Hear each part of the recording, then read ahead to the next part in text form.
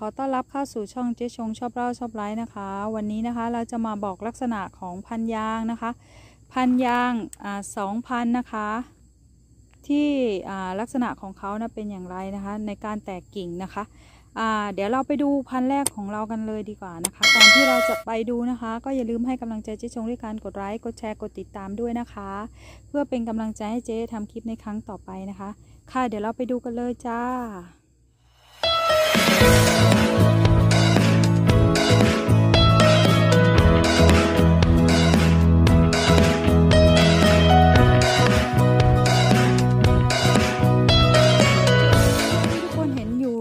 นี้นะคะก็คือพันยาง251 นะคะ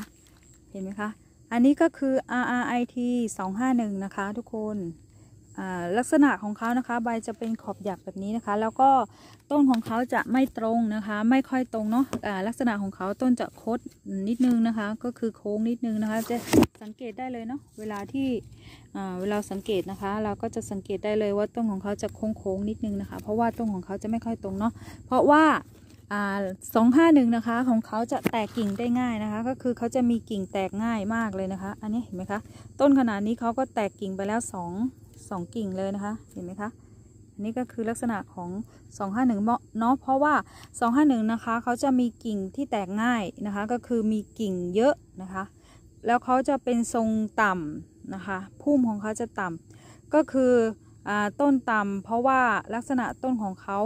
จะไม่สูงนะคะ ต้นต้นไม่สูงแล้วก็มีกิ่งเยอะนะคะนี่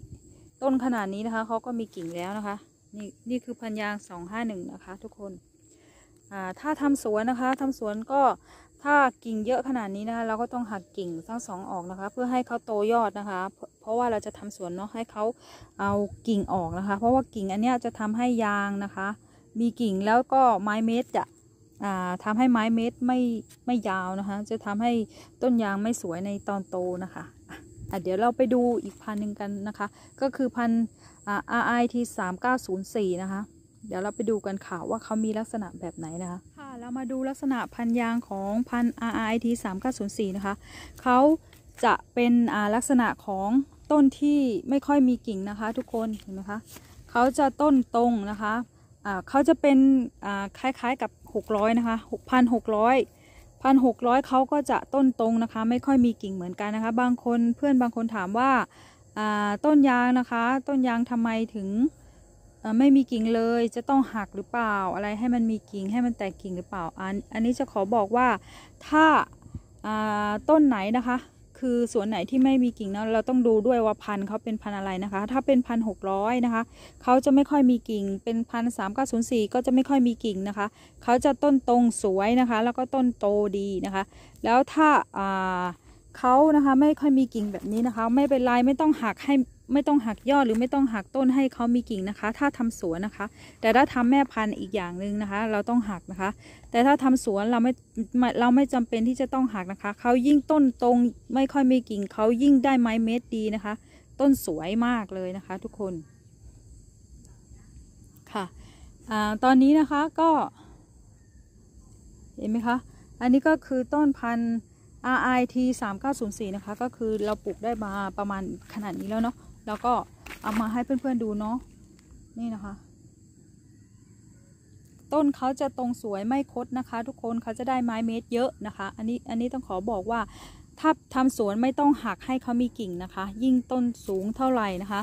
เขาเวลาขายต้นเขายิ่งได้ราคาเท่านั้นนะคะ พัน RIT 3 9 0 4แล้วก็พันหกร้อยนะคะเขาจะไม่ค่อยมีกิ่งเนาะค่ะ อันนี้ก็คือ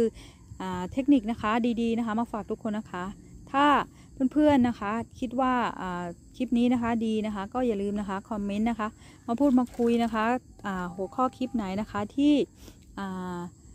มีประโยชน์หัวข้อคลิปไหนที่ว่า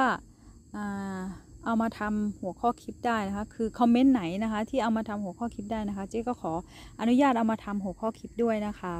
ค่ะ ขอบคุณทุกทุกกำลังใจเลยค่ะ ตอนนี้นะคะก็ไปกันก่อนดีกว่านะคะ เดี๋ยวเจอกันคลิปหน้านะคะไปแล้วค่ะ บ๊ายบายจ้า